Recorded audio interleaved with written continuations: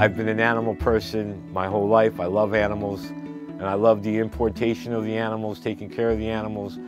The best fun part is breeding the animals, raising them, watching the babies grow up, and certain people in the industry are trying to breed more and more and more in captivity, so we have to take out less and less and less out of the wild.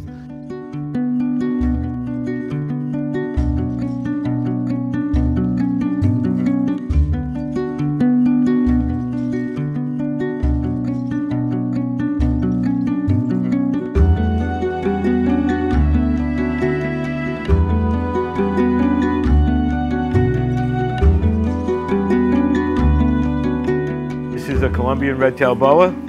He's probably a good seven, eight feet. Here's the female, female boa.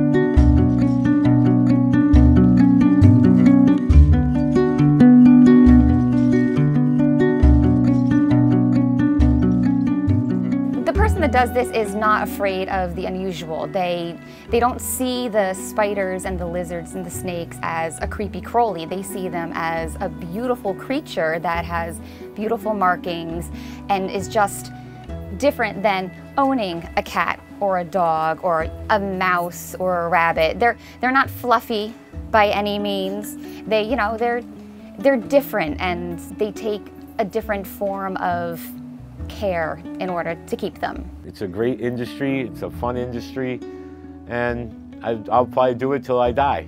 Like somebody said to me, if you can do what you like to do for a living, you'll never work a day in your life. I don't work, I get to play with all my animals.